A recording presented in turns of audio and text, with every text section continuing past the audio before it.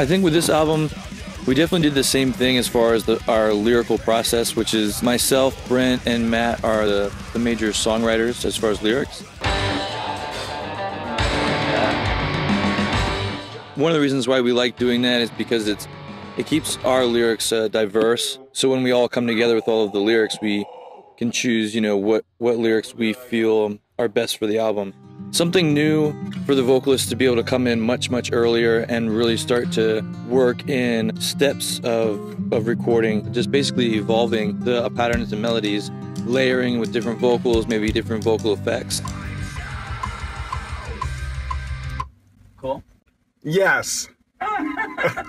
yeah. Basically, when I get, you know, all the songs together from JB, uh, break down each part in that song, and then try to convey with words like what I feel the, the, emotion that that song is drawing out of that part. And I will go through the lyrics and I'll just start speaking the lyrics out in patterns and see if if it has a general connection with the song. All right, I'm gonna do yells there. Awesome.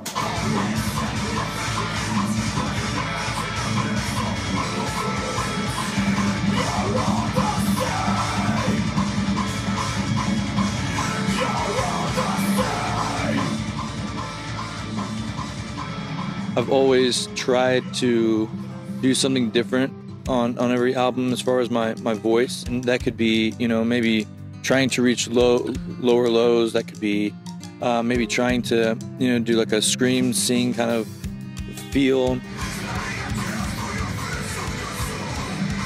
Really to bring as much emotion as I can to the album uh, because I want people to really feel the words that I'm that I'm, you know, saying, that I'm expressing on, on the on the track, and I feel like it's definitely one of my goals for this uh, for this record.